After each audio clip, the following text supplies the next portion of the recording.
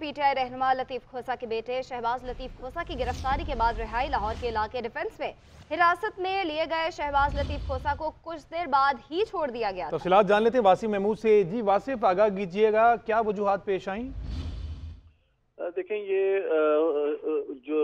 खोसा के बेटे शबाज लतीफ खोसा, इनको अभी कुछ देर पहले डिफेंस फ़ेज़ थ्री लाहौर में पुलिस ने हिरासत में लिया था, जब वो नमाज़ जुमा पढ़ने के बाद बाहर निकल रहे थे।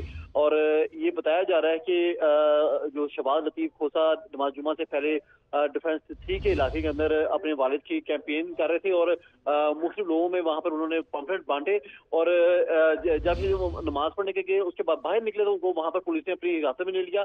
तहम जो उनके भाई खुरम लतीफा खोसा है, उनका ये कहना है कि शहबाज लतीफ खोसा को कुछ देर के बाद पुलिस ने छोड़ दिया था और इस वक्त वो अपने घर पहुँच गए ठीक है, वासिम महमूद, बहुत शुक्रिया, आपने तफसीत से आगाह किया।